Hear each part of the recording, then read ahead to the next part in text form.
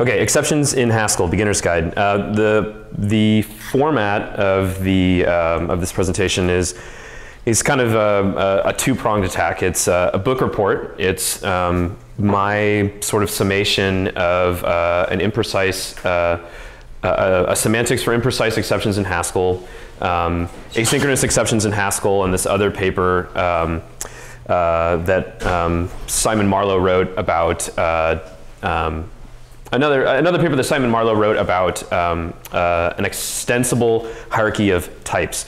So there's that. I'm going to give an overview of the uh, control exception API, um, give you some ideas on how you can use it, um, and provide uh, a little bit of the, um, the uh, show you the semantics for uh, exceptions bolted on to uh, Haskell that you encounter in GHC today. Okay, so as I mentioned, I'm going to explain the error, uh, sorry, the exception semantics in Haskell and GHC specifically. I'm going to show you how to use them in your program. Um, so uh, beginning Haskellers um, start with uh, exceptions as values. And what I mean by that is uh, we've got these types like maybe and either that we interact with that help us represent uh, failure in the type system. So you're going to use something like lookup. You're going to have like a, a, map with keys of type A and values of type B. Um, you're going to define one of these things. You're going to look something up in it. And if you're successful, you're going to get back just like just string. Um, and if you fail, then you've got this value that represents, uh, that represents failure. Either type you're also familiar with. Um, either decode is a function in uh, Aeson. Um, it's going to allow us to go from a value of type byte string to uh, either string uh, A, where A is a type that instantiates from JSON. So this is going to be a thing that's going to allow you to decode a byte string into some type. um, for instance, uh, you call either decode, you apply either decode to some string with 1, 2, 3 in there, and you say try to decode this to uh, uh, a list of integers, and you're successful, so you get back the right constructor uh, with uh, list one, one, two, three is your value. um, you try to apply either decode to the same argument, but you try to, uh, or you tell it to, um, to produce you a list of booleans, and you get left uh, representing failure. So the, the notion of success and failure is encoded um, in these types. And then you do things like you use head, and use head, you apply head to an empty list, and you see some weird crap in GHCI that says exception, you go, what? And then you do, you know, you divide 10 by 0 and you see something that says exception, you go, what? And then you try to read a file off the disk and you give it some bogus path, and you see an exception and you go, oh my god, I didn't even know Haskell had an exception system. I thought this notion of uh, functional purity would mean I would never have to deal with these out of band, um, this, this, this way to signal failure in a sort of out of band way. Okay, so I was digging into um, the papers that ultimately resulted in um, the, the uh, incarnation of exceptions that we see today in the language. And they provided some justifications for why um, exceptions as values isn't always like uh, the way to go. Uh, one of the things they mentioned was code bloat. Um, let's say you've got these two functions, uh, f of g, which are uh, from string to maybe string. Um, you'll notice here that if I want to combine their inner values, um, let's say using string concatenation, I have to do this like error propagation check and propagate check and propagate. Um, I can eliminate some of the boilerplate noise in my program by using the monad instance of maybe, but then I've just incurred this uh, if, or sorry, first this, then this. I've applied, I, have um, I've created a sequence um, when actually these two operations have nothing to do with each other, just uh, the concatenation. So you can get rid of some of this stuff by using applicative, but if we had to write this code all the time, um, our lives might be kind of sad. Especially if you show this to somebody coming to the language fresh, I think there's a little bit of like a, a, a, a hurdle that they'd have to jump over conceptually. okay, you also uh, run into this issue uh, with modularity where you're attempting to uh, compose functions um, that, uh, that could fail um, with functions that um, uh, uh, cannot fail in the ways that, you know, that we're talking about here. For instance, um, summing. You got x plus y and you got y div z. So we know that if, um, if you try to divide a number by zero, you're going to get a runtime exception. You're going to get a div by zero error. So we say we demand safety and we write uh, our own function safediv um, that returns a value uh, uh, wrapped in one of these, um, these, these maybe types. so we say if you, uh, we do some pattern matching, we say if you give me a, um, a denominator zero, um, we're gonna give you nothing and if you give me something else then I'm gonna do the division, I'm gonna wrap it up and adjust for you.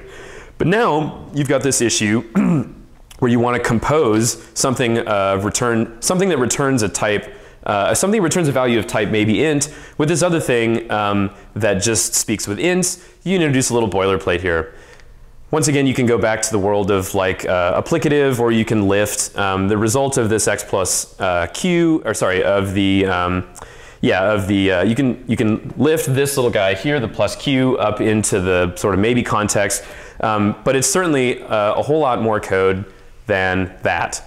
And we wonder to ourselves, like, am I really going to be dividing by zero? Is it is it really worth uh, is it really worth the additional characters for this um, marginal, uh, uh, this, this marginal um, benefit of safety. So the other thing um, that they talk about in uh, Semantics for Imprecise Exceptions, which is a, a, spectacular paper and really helped me understand like how this stuff works uh, in GHC. They bring up uh, the point that it becomes very easy to accidentally make your lazy Haskell program strict um, when uh, the type, the return types of your functions are these values uh, sorry, the return type, you're using these types that represent success and failure. So we know that Haskell is a lazy programming language. So I got this choice function that I wrote. It takes a Boolean, takes two, uh, two integers or expressions that are reducible to integer. And depending on um, the value of uh, the first argument, um, true or false, we're going to um, give you back the left or the right argument. So you give me a true, I'm going to give you x. I'm going to ignore the y. If you give me false, then I'm going to give you the y. Um, this uh, property allows us to do things like this, where I call choice with true. uh, true means that I'm going to um, pass along the left side of this, so the x, and the right-hand side, which if it were evaluated to uh, normal, uh, if it were to evaluate all the way down to normal form, would result in a runtime exception, but we don't actually do anything with it, um, so we can write code like this and have it, have it not fail. So let's say, like, what do we do um, uh, in a world in which, like, we, uh, what do we do in this world in which, like, we write safe div instead of using our unsafe div? As I showed you here, um, choice composes easily with div, x div y is going to give you an expression of type integer, y div z is going to give you an expression of type integer. Um, so we do bar true applied, sorry, bar applied to true 1010, we get back 1. 5 div 0 is never actually evaluated, no big deal. Though we write safe div, um, now, uh, you'll notice that um, in order to um, apply choice to two integers, we actually have to um, pattern match on the, uh, the return value, uh, the construct, we have to pattern match the constructor of these safe div calls. And what we've accidentally done here is made this uh, program strict. So um, the same, well, choice of divs prime, true, 10, 10, this should only uh, work on the left-hand side, but the fact that we're doing this pattern matching actually drives evaluation of that expression on the right-hand side, and we get a divide by zero. So this is not like an insurmountable problem, like just don't do this, but um, it becomes easy to make little mistakes that have uh, cascading effects through your system. The other thing um, is uh, this notion of asynchronous exceptions, um, which is a concept I'd never really thought about before. Um, this great quote from the paper, asynchronous exceptions by their nature have nothing to do with the value of the unfortunate expression that happens to be under evaluation when the external event occurs. Um, things that represent, or sorry, uh, things that would be represented in Haskell by external events are like stack overflows or the user hits uh, control C or something like that. Let's say I've got a function that just adds two integers together. How would the type of that function represent the potential for a stack overflow. Like all functions would need to be able to represent all of these different types of, uh, uh, of errors. So they've made some trade-offs here. Um, trade-off is a word that Phil mentioned to me when I was whining about this like uh, exception stuff. Um, and he's got a point. Like uh, you traded a little bit of safety for concision. You can um, compose uh, addition and division um, and you don't necessarily like need to wear the safety belt and do all of the, uh, the unwrapping of that uh, resultant maybe, uh, or that value of type maybe. Um, safety for transformations, like um, writing that code in a monadic style implies a do this and then that, which limits our ability to do these uh, types of transformations that you're going to get in um, other parts of your program that uh, are enabled by the fact that evaluation order is like unspecified. Um, for instance, with the uh, with like addition or something like that. Um, safety for modularity. Um, you can compose addition with division. Um, safety for laziness. You don't necessarily um, need to worry all the time um, that you have accidentally introduced uh, uh, strictness into your program. And then once again, there's no story for representing asynchronous exceptions um, if you're in this world of uh, exceptions as values, like maybe and either. If you, if you don't buy any of this, that's totally fine because if you're going to use any of these libraries, you're going to have to deal with thrown exceptions anyways. So too bad if you're like me and you say, synchronous exceptions, they totally suck. Uh, I don't believe that they should exist. Too bad. You're going to have to, if you're going to use, if you're going to write code that relies on these things, you're going to have to deal with it anyways. So behoove you to like figure out how they work. That's how I, that's how I sleep at night anyways, telling myself that. Okay, so um, two flavors of exceptions. I touched on this. Uh, synchronous exceptions and asynchronous exceptions. Um, synchronous exceptions are uh, the class of exceptions that you're probably used to dealing with in other programming languages. You write a try-catch block around it, you, you know, evaluate some statements and some exception pops out, you catch it. Um, it's a, let's say, a, uh, a way of signaling failure um, in uh, a way of signaling an out-of-band failure. Um, giving some examples of that, reading a file, passing it a bogus directory, uh, sorry, passing it a, a, bogus path, you're going to get an I.O. error, synchronous exception, 20 divided by 0, you're going to give div by 0, have an empty list, et cetera et etc., etc., etc. The paper goes on to say uh, that the denotation or the, the meaning of uh, an expression will tell you whether or not the expression will raise a synchronous exception. So um, the potential for raising an exception you're going to see if you actually do um, if you if you actually like write down the denotation of the expression. And you may be thinking to yourself like, well, what, what the hell does that mean? Um, and I will show you using my awesome math skills. Uh, so I wrote this function bitflip that takes an integer and returns an integer um, to illustrate uh, this notion that um, the synchronous exception is actually part of the meaning of, uh, of, of, an expression. So you give it a zero, it gives you back a one, you give it a one, it gives you a zero, you give it anything else, uh, it's going to invoke the error function which delegates down to throw. Um, something to think about before I go on to the next slide. Um, in, in Haskell, and I, I, haven't really thought exactly how to explain this, uh, well, we signal failure by creating exceptional values. Um, uh, the, the paper distinguishes between normal values and exceptional values. Um, it's important to note that these exceptional values don't actually impact your program unless they're evaluated, right? So you can think about this as like there are bugs all over your program today, but unless you hit that path, it doesn't actually uh, it doesn't actually matter. And Haskell takes it a step further. Um, unless you actually evaluate the expression down to the point in which um, you're going to hit this exceptional value, it doesn't necessarily like it's not going to it's not going to impact uh, things. Um, the other thing to think about is that exception values are infectious in pure code, and I'll I'll show you. Um, we'll walk through. Uh, the denotational semantics of a Haskell function. I'll, I'll show you what that looks like. So I, I, don't know how to use LaTeX, so I had to like write this down by hand. Sorry. but I was like, man, I'm so mathematical. Is, I, I, felt like a scientist for a, for a moment there. Um, okay, so uh, th this, this notation is just stolen from um, uh, an imprecise uh, or a semantics for imprecise exceptions in Haskell. Um, my bitflip function, let, I'm just gonna walk you through it. So uh, bitflip function applied to um, an expression E in some environment P. Um, if um, that E is not an exceptional value, so I've got this like OK to represent um, an, a, a, normal value, I'm going to call bitflip prime, which is like an auxiliary function that actually does the stuff that you saw in my Haskell program. Um, if, I, uh, if I get 1, then I'm going to return 0. If I get 0, then I'm going to return 1. Otherwise, I'm going to return an exceptional value with some information about uh, the nature of the, the failure.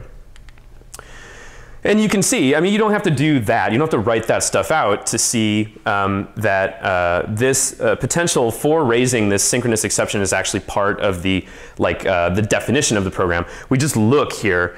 Um, and the point I'm trying to make is that, like, if you dig into um, any Haskell function and you see throw or throw IO, um, then its meaning includes this potential for uh, uh, raising one of these synchronous exceptions.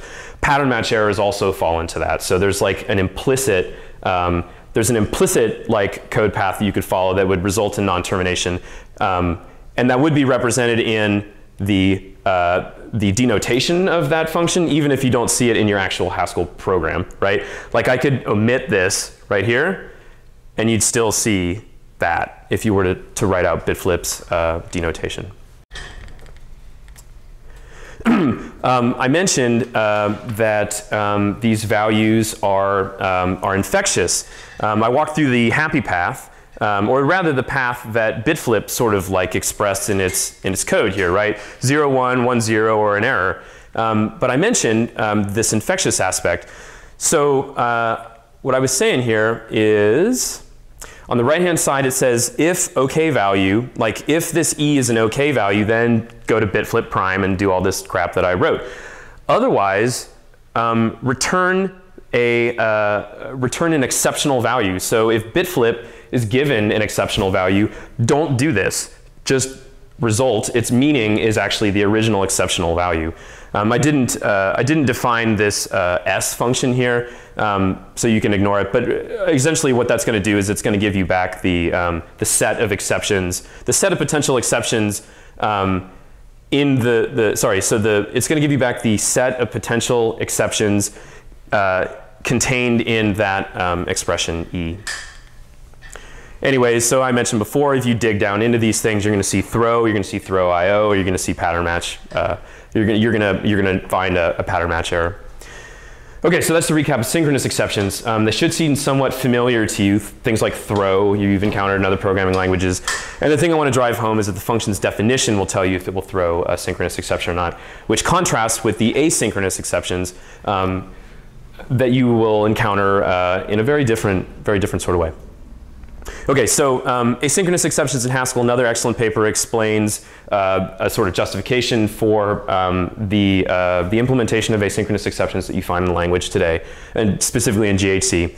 Um, they mention that asynchronous exceptions are raised as a result of some external event. Um, examples of that, these are the constructors for the async exception um, type in control.exception, stack overflow, heap overthrow, thread killed, user interrupt, um, some thread throwing an exception of any, uh, of, of, any, um, of any uh, type that instantiates exception to some other thread. These are all things that raise um, uh, asynchronous exceptions. And they're not necessarily, they're not going to be like, they're not going to be part of the semantics of your program because someone could, could you know, the stack could overflow at any point, like at any point reducing any one of these expressions that ultimately compose together to make your, your function or whatever. Um, and once again, so um, they're not part of the, the semantics of the expression. I've got some contrived example that, that shows this. So I got this next, next positive int function that takes an integer and returns an integer. Um, you don't have to like write down the, you don't have to do the denotation for this function to see that um, its meaning does not include uh, non-termination right? Like it is, a, it is not a partial function.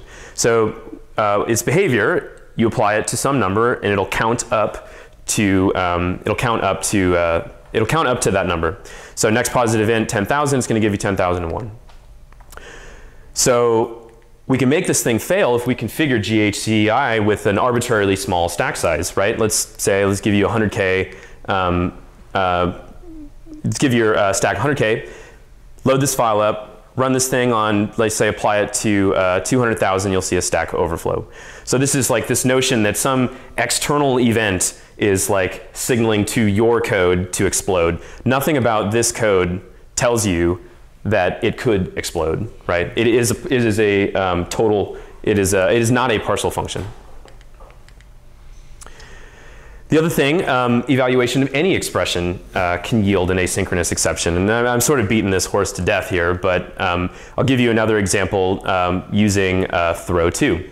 So you can imagine this is all part of the same file. I've got my main function. Um, this main function is going to fork. Uh, it's going to create a new I.O. computation to run in some other thread. It's going to run my sleepy function, um, which is going to sleep. It's going to print some stuff to the to standard out.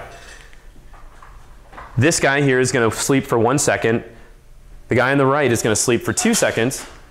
Main thread is going to wake up and it's going to throw an exception to the forked thread. So thread delay two seconds is actually, um, at, from the purposes of our program, is the expression that's being evaluated, right? When this asynchronous exception is thrown to this forked thread. So we can, we can replace like uh, we can just do them in our heads. We can replace that expression that was being evaluated with the exception thrown from this other thread, and we never actually make it to the the um, the woke up. So my point I was trying to drive home here is that thread delay says nothing about exceptions. Any any one of these expressions um, could, evaluating any one of those expressions could result in an asynchronous exception.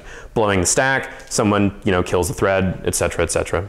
One question. Mhm. Uh, on the last code, does it does the behavior of this have anything to do with the fact that it's in an IO monad, or is it just whatever expression just happened? It, do you understand the question? Um, I don't think I fully understand the question, um, but uh, So like, it, it is does it make it synchronous with what's happening in the IO on the other thread, or does it just it could be executing any computation? It any any expression, like pure code, whatever, it doesn't matter. Um, any expression, evaluating any expression could result in an asynchronous exception.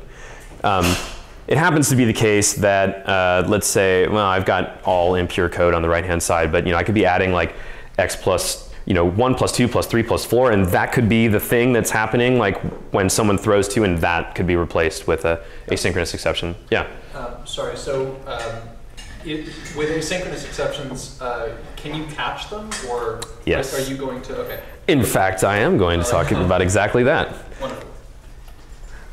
Okay, represent things like user interrupts, resource exhaustion, blah, blah, blah. They can be raised anywhere in your program. Pure code, impure code. Okay, so that's a lot of background. How do you use this stuff? How do you actually write a computer program that like uh, deals with these errors, throws these errors, et cetera, et cetera? How do you how do you signal how do you signal these out of band failures yourself? And how do you handle the case in which like a library is trying to signal to you um, that something has gone dramatically wrong? Okay, so um, I keep mentioning that these papers, uh, the, these papers that I keep talking about um, have proposed things that have ended up in uh, GHC. Um, Haskell 98 and Haskell 2010 did have a notion of exceptions, um, but it was uh, a little different than what you see today. Um, uh, you, you got a simple exception handling system in the IO monad. So you could do things like create your own IO error, and you could throw an IO error in the IO monad, and you could catch um, IO errors in the IO monad, but you couldn't do things like raise exceptions in pure code. Um, you couldn't create your own. Uh, you couldn't create your own exceptions. Uh, you could only use this IO error thing, um, and there was no uh, there was no way of dealing with asynchronous exceptions. Um, these three papers um, ultimately resulted in many of the features that you're seeing in GHC today. I highly recommend. I got some links to it at the end of the the end of the talk. I highly recommend you go read about this stuff. Um, they explain it in much greater detail than I do. So the API of today, uh, control exception exports um, a few things that are important to you if like you need to deal with exceptions in your program. Um, it exports the exception type class, um, which as you can see uh, is the type class uh, that you're going to be working with the most if you're going to be um, catching and throwing exceptions of your own. It also exports um, some exception and a, and a relatively sh uh, shallow but, um, but useful uh, hierarchy of exception types, um, which you can extend with your own stuff. Um, but some exception is the, the root of this, like uh, this structure of uh, exceptions. Um, so I mentioned those guys. Uh, I'm going to walk you through some of these uh, low-level functions. Um, it exports a bajillion functions that build on these things, but these are about as low as you can go. So throw does what you would expect. Um, given a value of a type that instantiates exception, um, it will plug in anywhere where you can use a value of type A, which is kind of bizarre, right, if you think about that. Um, I'll get into that uh, in a second. Throw IO, same story, only this is for throwing um, an exception in the IO monad, um, or yeah, for, exactly. Uh, or producing a computation that when run will, you know, will give you one of those things. Catch uh, does what you would expect. Um, you give it an I.O. computation that when run produces an A, you give it an exception handler, it'll give you back a new I.O. computation with that exception handler installed. And then mask, um, which helps you in dealing with uh, the delivery of asynchronous exceptions. So as I mentioned before, dealing with asynchronous exceptions, these things can show up anywhere in your code. You might end up in this scenario in which like you've, uh, let's say you've um, acquired some resource from a resource pool, now you're computing pi to 10,000 decimal points. Someone delivers an asynchronous exception to you. You don't want to die. You want to you want to um, you want to uh, release that uh, that scarce resource that you've acquired before you actually uh, before you actually uh, before you actually die, and, and mask will help you do that. Okay, so first thing. Um, throw can be used to raise an instance of the exception type class in any part of your program. Um, the, the words that I'm using are a little wishy-washy. It can actually be used to create an exceptional value um, somewhere in your program. And I mentioned this distinction between uh, normal values and exceptional values. So you can see that this absolutely type checks 42 plus throw error call, oh my god, right? So I said here that you produce a value of type A, which is, is kind of foreign looking, right? Um, to get an intuition as to sort of like how that may work, um, imagine this function. The type of this function is, uh, is integer to integer. Well, this is me actually like telling GHC that it's integer to integer, but this makes sense, right? Like, um, given an integer, I will produce you an integer. If you apply that function to some integer, now you've got an expression of type integer. This is an expression of type integer to integer. Going a little further, this is an expression of type integer to integer. If I fully apply this thing, or sorry, if I apply div to the remaining uh, to x, um, sorry, if I, you know, if I give div like the, the integer that it's waiting for, now I have an expression of type integer. That totally makes sense. So why wouldn't it make sense that this too is an expression of type integer? There's this exceptional value waiting in there to be evaluated, but from a type perspective, the type of that expression is still integer. Okay, so brain teaser, for those of you that may or may not have been paying attention. Um, given the function f in my little program here, when I evaluate, or sorry, when I apply f to 10, and I print that out, this thing is fully applied, this function is fully applied which exception will be observed? Any guesses? Think about the, what is it, the cardinality of the. Uh, I cheated because I know the answer. Hey, yeah, yeah, what's up? So GHC says plus is infix L, so my guess would be the left one. Hmm. But does it depend on the implementation, not depending on, not depending on evaluation? Hmm. All excellent guesses. You, you- you can't tell from that statement. You can only tell if you respect the implementation of plus. Let's check it out. Let's run it in my fantasy console. So I'm not as brave as Phil. I do not do this stuff live. I'm like shaking at the keyboard. So this is the same program here on the left-hand side. Um, and this is actual output from my computer program. Um, so I'm compiling uh, my, my little program, and I've disabled all compiler optimizations. And then I run that thing, and I get divide by zero. And I look at it, and I'm like, okay, yeah, that makes sense. It's like on the left, and like other programming languages I've used, like that's what they do, you know. Um, I think JavaScript. I actually have no idea what JavaScript would do, and I wrote that language for like 10 years. Um, but anyways, like I looked at that, and I was like, yeah, that totally makes sense. So then I compiled the exact same source code with optimizations dialed to 11, and I ran it, and I saw ERK, and I'm like, oh my gosh, like what, what does this mean? So I go back to the paper and I find this. And I was like, oh, yeah, this totally makes sense. Actually, um, uh, so I, I, sat there and I looked at this. I went into like the denotational semantics like dojo, and I actually came out with an understanding of like of what's going on here. So I'll walk you through it. so this is the denotation of addition in Haskell uh, with exceptions. So these two things are primitives. Um, this is like uh, um, addition of E1 and E2 in some environment P.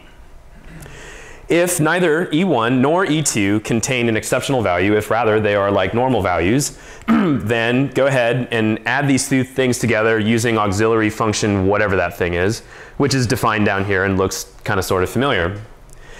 But if either one of those two E's um, uh, is an exceptional value, union them, union the exceptional values of one with the exceptional values of the other.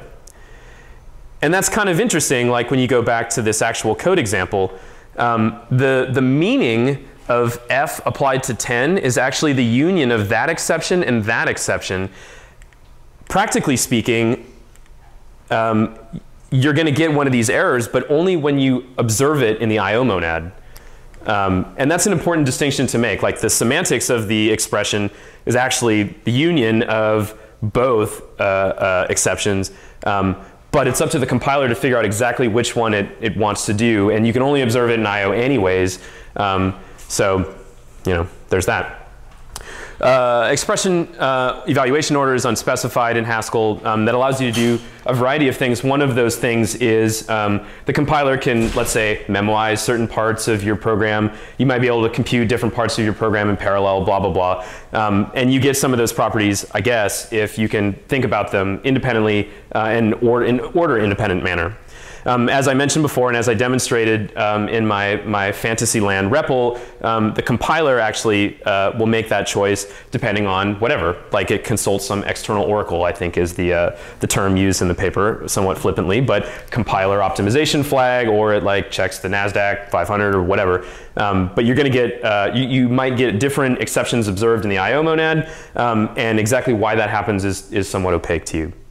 Um, Okay, so exception propagation and I.O. This stuff is like a little more in the sane world. Um, I could understand this. Um, uh, exceptions, when they bubble all the way up to I.O., um, will short sequence the uh, sequence of monadic binds. So you can imagine like F bind throw IOE will just result, pardon me, in F bind throw IOE. G and H, we don't get that far. This thing short circuits unless there's some exception handler installed. And given that most of your computer programs are just a series of like these things, um, that approximates like blowing the stack in Haskell. Haskell's particular flavor of blowing the stack. Um, catch function, as you would expect, allows you to install an exception handler. Um, given an I.O. computation that when run produces an A, you give it a, uh, a function from uh, an exception to another I.O. computation. You get back this uh, I.O. computation with that um, exception handler installed. Um, you are familiar with read file. Let's say you give it some bogus path. That's bad. It'll run your exception handler, and it'll give you back a value of, uh, of type IO, you know, whatever you parameterize it with. So in this case, um, when my exception is encountered, if it is encountered, because I gave it some bad path, I'm going to write something to standard out the string representation of that IO exception um, that was raised as a result of, of, uh, of running that, um, running the, uh, the value of, running the value that I got out of fully evaluating that expression right there. Um, the transition rules with catch are also not totally surprising. Um, uh, throw IO E, bound F will give you throw IO E, catch, my cool handler will give you my cool handler E, and so on and so forth. If you don't have an error and you install an exception handler, um, your exception handler is not going to uh, not going to be used. Um, other functions of interest, uh, which I'm not going to get into, but are going to be useful for you um, and are somewhat low level, so are worth pointing out um, if you're going to be uh, managing exceptions in Haskell. Evaluate, which um, given a value of type A, or some expression whose meaning is you know, some expression of type A, will give you back an I.O. computation that when run will evaluate um, that expression uh, down to weak head normal form. Um, yes, that is, that is correct. Um, so this is useful if you have some pure computation that you may expect to uh, um, like blow up uh, with a synchronous error, and you want to like um, run that thing in uh, in the I/O monad. I guess as its type implies. Can I ask you to remind me? if I should know what weak head normal form is, Um, I actually don't have like a, a, precise explanation for what weak head normal form is. I think down to the first constructor, like evaluating down to the first constructor, but I, that's probably technically incorrect. Would anyone else like to pitch in? The question was like, what does weak head normal form mean? No. Validation. yeah, all right, so I guess I was right. um, catches, unlike catch, um, allows you to install uh, exception handlers for very specific exception types. So catch is a little coarse grain. Catches, you provide some enumeration of uh, handlers that um, that will work on different, uh, uh, different types of exceptions.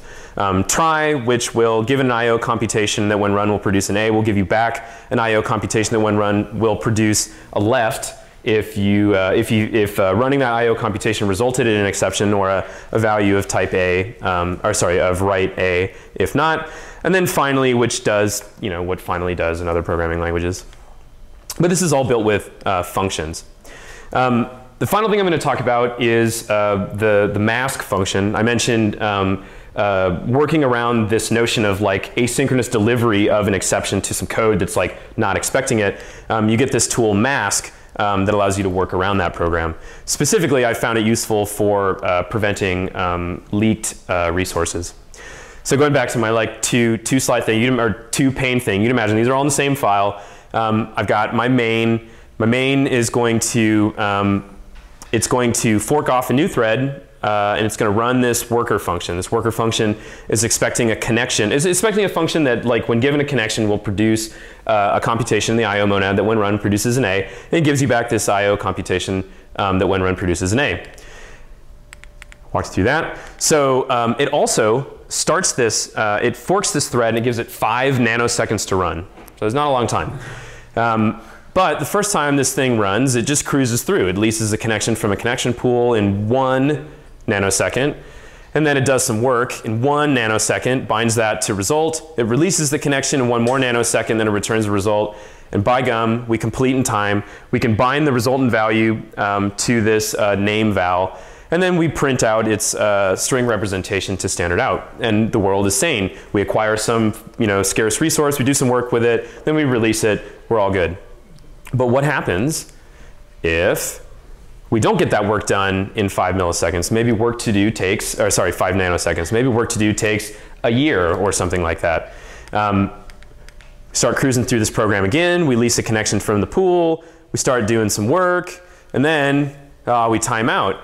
The way this is implemented is we throw an asynchronous exception to this forked thread, um, signaling that it's like uh, lowercase t time to go home. And then this thing can be replaced with the exception that we threw, and we leak this resource here. So that's bad, right? Like um, it may be the case that like uh, this, you know, leaking these resources, there's nothing else that cleans up after them, and then you know our program sort of drifts to the point where there's no more connections to lease from the pool, and we're sad. And the phone rings at four o'clock in the morning on Thanksgiving. So we've got this function mask. I won't explain that type because I can't, um, but I will show you how to use it. Um, same, same function over here. Main, main does this, uh, this whole timeout song and dance where it forks off this worker. But now I've got mask in play. So I call my mask function. And um, what I'm going to do here, I, am not going to walk you through all of it, but um, uh, spiritually what's happening here is that this code is all um, uh, asynchronous exception proof. And there are some exceptions to that, um, namely around uh, interruptible operation, uh, interruptible actions, but I'm not going to get into that in this talk. But you can basically think of like um, this mask sort of preventing asynchronous exceptions from being delivered into any one of these expressions, or, or being delivered in the place of us evaluating any one of these other expressions. We have to tell it exactly where asynchronous exceptions can be delivered.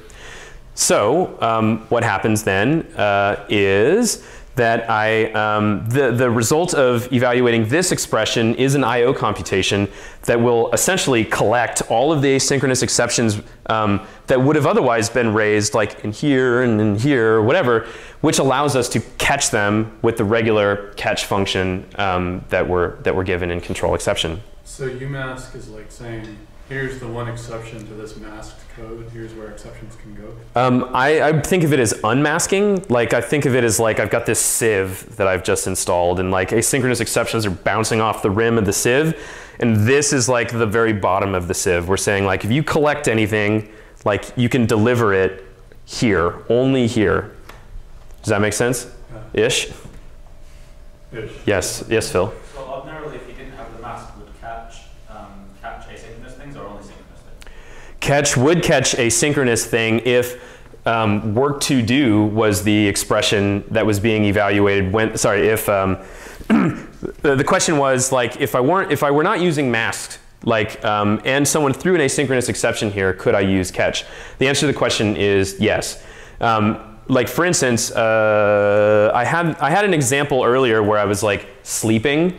Um, uh, you saw that um, when I was sleeping on the right hand side and I was um, I timed out that sleeping thread on the left hand side. Um, the expression uh, that um, was actually replaced with the asynchronously thrown exception, you could have wrapped a catch around that. you didn't actually have to use mask. Um, so if you're, you, you could approximate what mask is doing, I guess, by wrapping every single uh, expression in your program in a catch, I guess. It would allow you to do something similar. That? Mask only waits on, um, only prevents uh, asynchronous exceptions from being um, observed, right? Not synchronous. So catch is both, but asynchronous mask is only asynchronous, right? That's a good question. Um, how would, um, how would you how would a, a synchronous exception interact with mask? Uh, how could it? Are, you- are you saying like if you were to raise a synchronous exception inside the body of mask, does mask like catch it and then put it like in here? I don't actually know. I'm not sure how that works. Does, does his question make sense? Yeah, I don't, I don't know. I'm not, I'm not sure.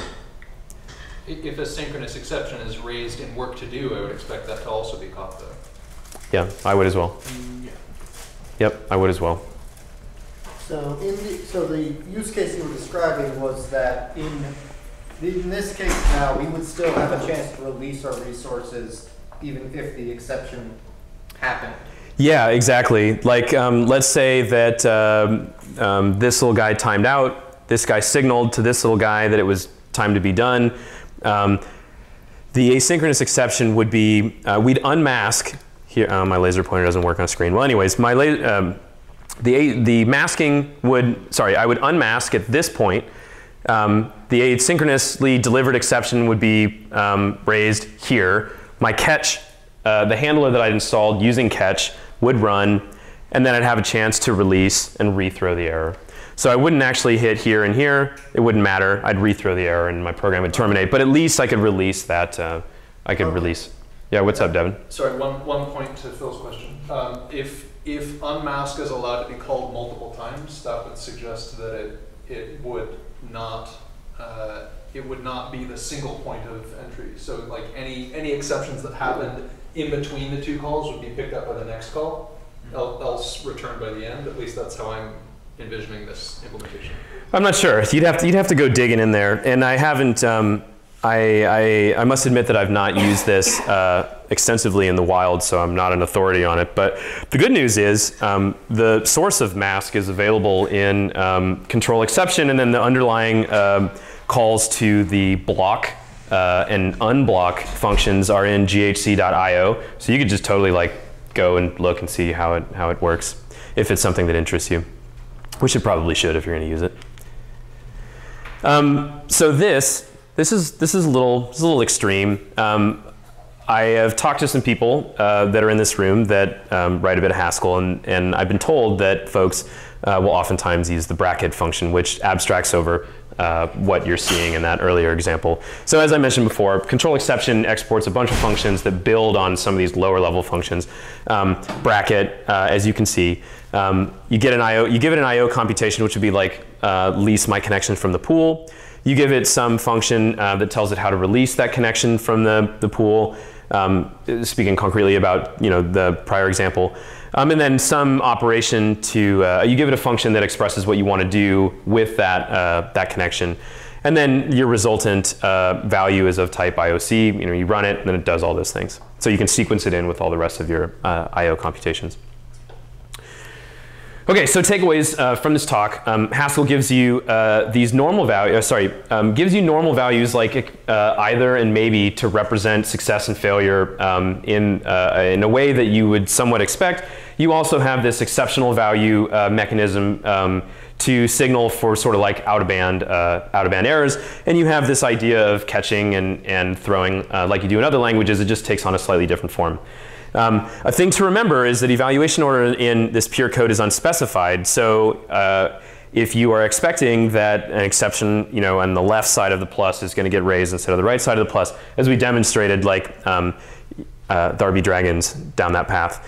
Um, tons of tools in control exception for dealing uh, with exceptions.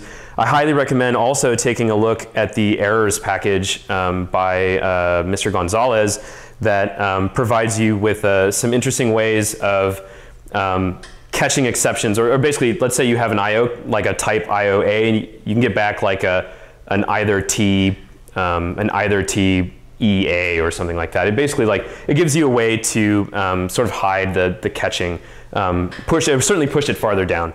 Um, also, monad throw and monad catch are very interesting type classes. Um, I didn't have enough time to put them into this uh, presentation, but I highly recommend you check that stuff out.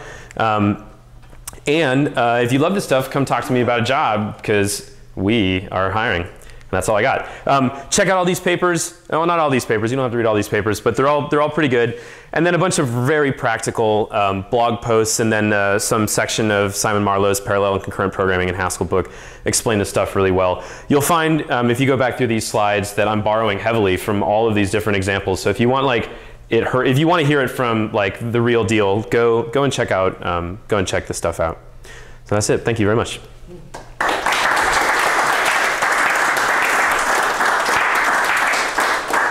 You can ask questions. I'll try to answer, but I'm not an authority, although I may pretend to be from time to time. Yes. On the last one, we were talking about brackets. Yeah. Um, I think I understood that those are run conditionally. Like sometimes you can, sometimes the first line runs, the second line doesn't run, the third line runs. And did you get that flavor from from bracket? Um, well, let's let's take a look at the types. Run first, run last, run in between, return the in between result. Um, my read of this code is that all of these are going to come into play. Like you're still going to release the resource. You're still going to run this like uh, run last operation, the second guy here, regardless of whether an exception um, is going to be raised. And I think actually now that now that we're talking about this, so sorry for the microphone purposes, the question was. Um, uh, and pardon me for summarizing, like do all of these do all of these guys come into play regardless of whether or not an, ex, uh, an exception is raised? Is that like the spirit of your question? I was under the distinct impression that it ran conditionally. Those the intermediate pieces. Um, I don't believe that is the case. Um, and Phil, you can correct me if I'm wrong. I believe that all of these things, like, I think they all run. yeah, I'm pretty sure they all run. I think what happens is like um, if a uh, if if an exception is raised, it's going to be rethrown, but this thing is going to guarantee you that your um, your release the resource operation is going to complete. So they all are going to come into play. Well, that kind of suggests that the line three won't necessarily run. Run, th- uh, sorry, line, line three is like what you actually want to do with the resource. So um, this is like, the first guy is like, get my resource. This guy here is like, using my resource, do some stuff with it, or produce a computation that when run will like, you know, give you something. This guy here is like, how to release the resource. And this is the resultant, is the result of all of these guys composed into one I.O. computation. Does that make sense? But what if an exception occurred before you were able to run the third line? Uh, and That one, makes sense to just, At what point in your program? uh, At what point in your program are you asking? The question is, um, what happens if an exception is raised before? You mean as a result of doing one of these things? yeah. Um, I'm not sure if an exception handler is installed around uh, that or that or that. I know that an exception handler is installed somewhere in here because I know for a fact that um, that the implementation of bracket will rethrow uh, an exception if encountered. But I don't actually know if it's catching um, here and here or just here. You'd have to like go digging into the code to, to find out.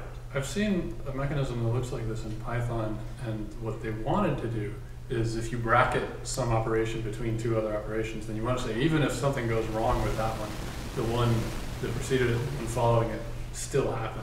Interesting. I mean, that sounds like spiritually similar to like what's going on here. Yeah. Yeah. Cool. Well, yeah, yeah. Um, so there's an example with the um, maybe in with if you put in a monad, then you have to do the two operations sequentially. Mm-hmm. Um, so I'm wondering. I think there's a new um, applicative do um, extension coming out. So I'm wondering if that would be able to you know convert that to the applicative. Uh, Yeah. methods. Yeah, that's a good question. Um, the question was like, what is the impact? Uh, I'm summarizing. Um, what is the impact of uh, applicative do on um, on uh, on well the verbosity level of like the the code that we write? Um, and that's a good question. I actually don't know what applicative do. I'm not sure what the result of that is going to look like in software. I haven't I haven't looked at uh, any of the the examples, but um, if I had to wager a guess, uh, I would say, yeah, it would probably probably alleviate some of that problem. But you'd still have to like think about applicative uh, uh, applicative functors, and, and maybe you just can't be bothered to do that. Cool. Yeah, what's up, Devin? Um, so the last question about um, bracket releasing the resource, um, according to the source, uh, this is bracket is thinly wrapped mask that applies uh, the after A, uh, the, the after thing, the re- resource releasing thing, it applies that in two different places. Before, it, it applies that in the handler um, uh, in mask, and then also after. So exactly. It's probably doing this right here. It's, it's actually abstracting that structure exactly. So it actually does the exact same thing as that, except um, wrapped because it, I guess it's a common enough idiom. Hmm. So the, the code suggests that there it is. Cool. Yeah, I mean, I learned a, I learned a lot about um, how this stuff works just by digging through the source code of control.exception. I, I encourage you to do the same thing. Surprisingly readable. Yeah, quite legible. Cool. Well, thank you very much. Come talk to me if you want a job.